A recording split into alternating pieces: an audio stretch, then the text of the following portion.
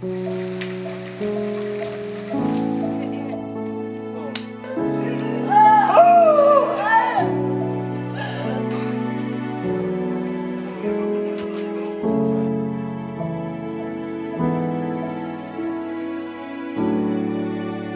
피하고 싶었었던 것 같아요. 근데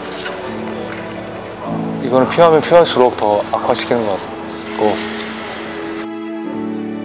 지금 고민 안 잡고 뭐 하는 겁니까 지금?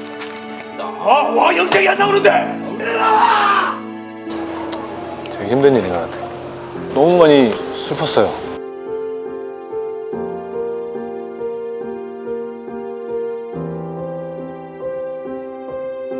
잘 해낼 수 없을 것 같았어요. 도전이죠. 네. 사고 소식을 들었을 때 엄마의 반응 굉장히 많이 생각하고 지금 진짜 확인됐어요.